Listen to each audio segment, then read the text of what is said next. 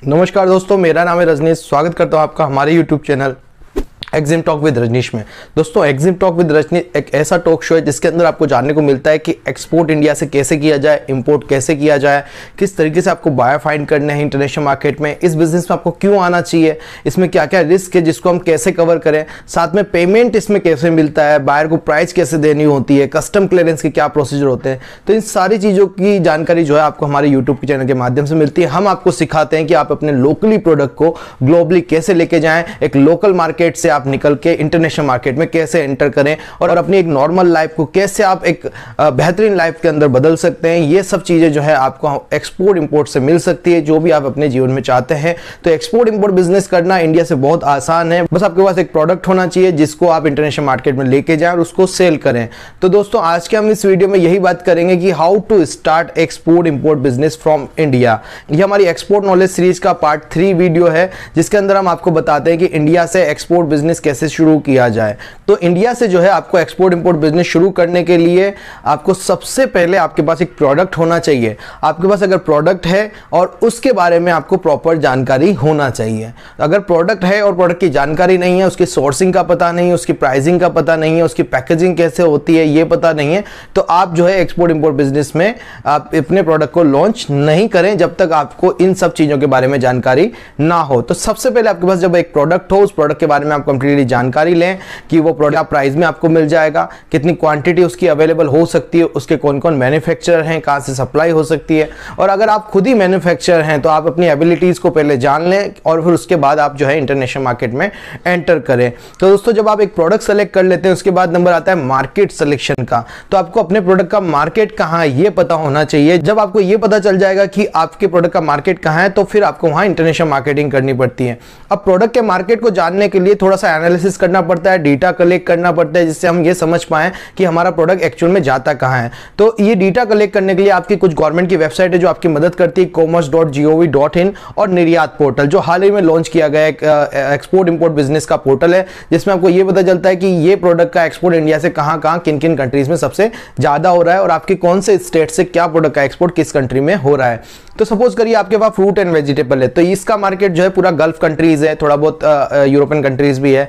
हमारी near by Asiatic countries भी है, जैसे बांग्लादेश हो गया है नेपाल हो गया है। तो वेजिटेबल्स को आप जो है इन इन कंट्रीज़ में टारगेट करके अपने प्रोडक्ट को सेल कर सकते हैं। सपोज़ करिए आपके पास कारपेट है तो कारपेट पूरा अच्छा से यूरोपियन कंट्रीज़ में भी चलता है गल्फ कंट्रीज़ में चलता है यूएसए और कनाडा जैसे बड़े देशों में भी इसकी रिक्वायरमेंट रहती है तो आप वहाँ भी जो है अपने प्रोडक्ट को सेल कर सकते हैं। साथ में अगर आप देखते हैं कि जेम्स एंड ज्वेलरी की अगर हम बात करें तो जेम्स एंड ज्वेलरी का मार्केट आप ट्रैक करें कि कहाँ पे हमारा प्रोडक्ट जाता है, कहाँ पे इंडियंस रहते हैं, उसके अलावा कुछ यूरोपियन कंट्रीज़ में जाता है मलेशिया जाता है सिंगापुर जाता है तो इन कंट्रीज़ को आप टारगेट करें। अगर आप नेचुरल स्टोन के बिज़नेस में है तो नेचुरल स्टोन एक कंस्ट्रक्शन रिलेटेड फ़ील्ड है, जिसके अंदर अगर आप नेचुरल स्टोन का एक्सपोर्ट करते हैं तो आपको पूरा वर्ल्ड जो है एक तरीके से मार्केट के रूप में दिखाई देने लगेगा, क्योंकि हर जगह कहीं ना कहीं कंस्ट्रक्शन होता है मार्बल ग्रेनाइट की रिक्वायरमेंट होती है सैंड स्टोन लाइम स्टोन सभी तरह के नेचुरल स्टोन जो है उनकी रिक्वायरमेंट रहती है कंस्ट्रक्शन फ़ील्ड में। तो आप उन प्रोडक्ट को अगर आप सेलेक्ट कर रहे हैं तो आप अपना मार्केट जो है डिसाइड करें सबसे पहले कि आपको कहाँ से स्टार्ट करना है। अगर हम इंडिया के और राजस्थान की बात करें, वहाँ पर गेनेट की तो ये बिज़नेस जो है,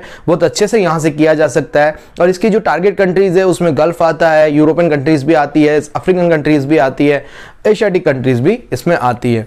तो इस तरीके से आपको पहले अपना एक मार्केट सेलेक्ट करना पड़ेगा। आपके पास एक प्रोडक्ट हो प्रोडक्ट के बाद आपने एक मार्केट सेलेक्ट किया कि आपको कहाँ उसकी मार्केटिंग करनी है। जब मार्केट आप सेलेक्ट कर लेंगे तो उसके बाद जो है आपको एक कंपनी खोलनी है। अब कंपनी खोलने का मतलब ये नहीं है कि आपको बहुत बड़ा मैन्युफैक्चरिंग यूनिट लगाना है या आपको बहुत बड़ा इन्वेस्टमेंट करना है, ऐसा नहीं है। अगर आपका खुद का प्रोडक्ट है, आपकी खुद की मैन्युफैक्चरिंग है ऑलरेडी तो तो बहुत अच्छा है। अगर आपके पास कोई मैन्युफैक्चरिंग यूनिट नहीं है तो इनिशियल लेवल पर आप मैन्युफैक्चरिंग यूनिट ना करें। पहले आप देखें कि कौन इस प्रोडक्ट का मैन्युफैक्चरर है। फिर आप वहीं से उस प्रोडक्ट को खरीदें और इंटरनेशनल मार्केट में सेल करें। तो आपको इसके लिए कोई बड़े इन्वेस्टमेंट की ज़रूरत भी नहीं पड़ी। आप जो ऑर्डर जो है, आप किसी भी क्वांटिटी के अंदर कर सकते हैं, चाहे वो एक टन का ऑर्डर हो, दो टन हो, अगर केजीज में या वेट के अंदर आप एक्सपोर्ट कर रहे हैं तो पीसेज वाइज भी आप एक्सपोर्ट करते हैं। तो एक्सपोर्ट के अंदर कोई क्वांटिटी का कोई वो नहीं है कि हम दस पीस कर सकते हैं, नहीं कर सकते, या पूरा कंटेनर कर सकते हैं, नहीं कर सकते।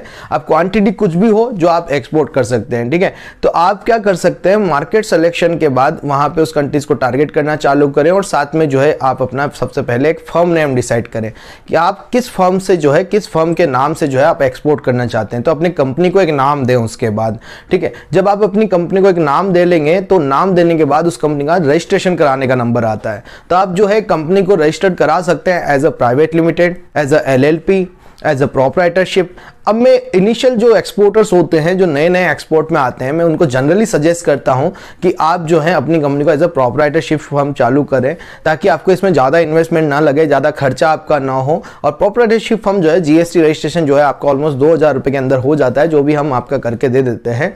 जब आप जीएसटी रजिस्ट्रेशन करा लेंगे अपनी फर्म का, उसके बाद आपको ओपन कराना पड़ता है करंट अकाउंट जब आप करंट अकाउंट ओपन कराएँ तो आपको ये देखना पड़ेगा कि उस बैंक का पर्सनली एडी कोड है कि नहीं है। एक ऑथोराइज डीलरशिप कोड होता है जो हर बैंक के पास होना चाहिए, जो भी एक्सपोर्ट इंपोर्ट में डील करती है। तो पहले आप ये देखें, अगर अपने आपके गाँव की बैंक के पास एडी कोड नहीं है और वो बोलते हैं कि आप आपका डिस्ट्रिक्ट जो है, वहाँ पे एडी कोड वाली ब्रांच है तो आप वहाँ जाएँ, वहाँ अकाउंट ओपन करें और वहीं से जो है एक्सपोर्ट इंपोर्ट के सारे प्रोसीजर को एक्सपोर्ट इंपोर्ट के सारे डॉक्यूमेंटेशन वगैरह सबमिट करें और वहीं से आप जो है एडी कोड लेटर लेके आए। तो इसी तरीके से जो है आपको पहले बैंक सेलेक्ट करना पड़ता है।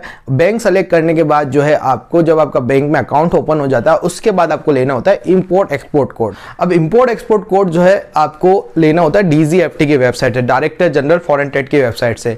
तो इंपोर्ट एक्सपोर्ट कोड जो होता है, इस इंपोर्ट एक्सपोर्ट कोड के बगैर जो है, ना तो आप किसी प्रोडक्ट का इंडिया से एक्सपोर्ट कर सकते हैं, ना किसी प्रोडक्ट का इंपोर्ट कर सकते हैं। तो इंपोर्ट एक्सपोर्ट कोड जो बहुत इंपॉर्टेंट डॉक्यूमेंट है। अगर आप एक्सपोर्ट के बिज़नेस में आना चाहते हैं तो सबसे पहला जो बहुत इंपॉर्टेंट डॉक्यूमेंट आता है, वो इंपोर्ट एक्सपोर्ट कोड ही आता है। अब इंपोर्ट एक्सपोर्ट कोड जो है, आपको ऐसा नहीं है कि अलग अलग प्रोडक्ट के हिसाब से अलग अलग इंपोर्ट एक्सपोर्ट कोड लेना पड़ेगा। आप चाहे किसी भी प्रोडक्ट में ट्रेडिंग करें, आप चाहे किसी प्रोडक्ट में डील करें तो आपको जो है, एक ही इंपोर्ट एक्सपोर्ट कोड लेना पड़ेगा। एक ही इंपोर्ट एक्सपोर्ट कोड के ऊपर आप जो है, कोई भी प्रोडक्ट एक्सपोर्ट कर सकते हैं और कोई भी प्रोडक्ट इंडिया में इंपोर्ट कर सकते हैं। तो एक्सपोर्ट इंपोर्ट कोड लेना बहुत ही ईजी है, जो आप डीजीएफटी की वेबसाइट से ले सकते हैं। अगर आप हमसे कॉन्टेक्ट करते हैं, अगर आपको इंपोर्ट एक्सपोर्ट कोड लेना है तो आप हमसे भी कॉन्टेक्ट कर सकते हैं, जिसमें हम आपको इंपोर्ट एक्सपोर्ट कोड बना के दे देंगे। तो दोस्तों आईसी लेने के बाद नंबर आता है आरसीएमसी का। आरसीएमसी क्या होता है? आरसीएमसी होता है रजिस्ट्रेशन कब मेंबरशिप सर्टिफिकेट ऐसे कई एक्सपोर्ट प्रमोशन काउंसिल्स गवर्नमेंट ने बनाई हुई है। साथ में कुछ कमोडिटी बोर्ड भी बनाए गए हैं, जिनसे हमें रजिस्ट्रेशन कराना पड़ता है। उनका सर्टिफिकेशन उनकी मेंबरशिप लेनी पड़ती है। तब जाके हम उन प्रोडक्ट का एक्सपोर्ट कर पाएँगे और जो है हमें ड्रॉबैक लेने में आसानी रहेगी। ड्रॉबैक जो है एक तरीके का गवर्नमेंट बेनिफिट होता है। जब हम एक्सपोर्ट करते हैं तो गवर्नमेंट जो है हमें इसमें एक्सपोर्ट बेनिफिट प्रोवाइड कराती है। एक तरीके से सब्सिडीज होती है, जो हमें गवर्नमेंट प्रोवाइड कराती है। तो दोस्तों जब आप आर लेते हैं तो जो मैं आपको एक्सपोर्ट प्रमोशन काउंसिल्स और कमोडिटी की बात बोर्ड की बात कर रहा था तो गवर्नमेंट ने काफ़ी सारी एक्सपोर्ट प्रमोशन काउंसिल बनाई हुई है और कमोडिटी बोर्ड भी बनाए गए हैं। अगर आप एग्रो कमोडिटी एक्सपोर्ट करते हैं तो आपको एपिडा का आरसीएमसी लेना पड़ेगा। अगर आप स्पाइसेस का एक्सपोर्ट करना चाहते हैं तो स्पाइसेस बोर्ड का आरसीएमसी आपको लेना पड़ेगा। अगर आप कैशू जो है एक्सपोर्ट और इम्पोर्ट करना चाहते हैं तो आपको कैशू बोर्ड का जो है आरसीएमसी लेना पड़ेगा।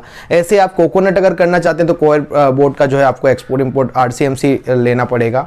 तो इसी तरीके से कई सारी एक्सपोर्ट प्रमोशन काउंसिल्स भी बनी हुई है। जैसे आप जैम्स एंड ज्वेलरी का अगर एक्सपोर्ट करते हैं तो वो उसके लिए J G E P C gems and jewellery export promotion councils जो है, बनाई गई है, जिससे जो है आप आरसीएमसी लेते हैं और अपने प्रोडक्ट का एक्सपोर्ट करते हैं। ऐसे ऐसे कारपेट के लिए बनाई गई है carpet export promotion councils chemical product के लिए कैपेक्सिल एंड कैमेक्सिल बनाई गई है। ऐसे बहुत सारी एक्सपोर्ट प्रमोशन काउंसिल्स और कमोडिटी बोर्ड बनाए गए हैं जो आपके प्रोडक्ट को एक्सपोर्ट कराने में आपकी मदद करते हैं एक्सपोर्ट प्रमोशन का काम करते हैं। तो आपको उनका रजिस्ट्रेशन कम मेंबरशिप सर्टिफिकेट लेना पड़ता है, उसके बाद ही आप एक्सपोर्ट करते हैं। सपोज़ कीजिए आपका कोई ऐसा प्रोडक्ट है जो किसी भी कमोडिटी बोर्ड या एक्सपोर्ट प्रमोशन काउंसिल्स के अंदर नहीं आता है। तो उसके लिए गवर्नमेंट ने एक फीओ बनाया है federation of Indian export organisation है, जिसका आपको फिर सर्टिफिकेट उसमें आरसीएमसी लेना होता है। अगर आपका प्रोडक्ट कोई भी आर किसी भी कमोडिटी बोर्ड या ईपीसी के अंतर्गत नहीं आता है तो। ठीक है आरसीएमसी जब आप ले लेते हैं आरसीएमसी लेने के बाद आपको कराना होता है पोर्ट रजिस्ट्रेशन पोर्ट रजिस्ट्रेशन से पहले होता है कि आइस गेट रजिस्ट्रेशन मतलब आपका कोई भी प्रोडक्ट जब एक्सपोर्ट होता है इंडिया से तो वो कस्टम के क्लियरेंस होने के बाद ही वो आगे जाता है। ऐसे ही अगर आप कोई प्रोडक्ट इंपोर्ट करते हैं तो क्लियरेंस होगा उस प्रोडक्ट का, उसके बाद ही आप उसको इंपोर्ट कर पाएँगे। तो एक्सपोर्ट इंपोर्ट करने के लिए आपको पहले आइस गेट एक कस्टम की वेबसाइट है, उस पर आपका रजिस्ट्रेशन होता है।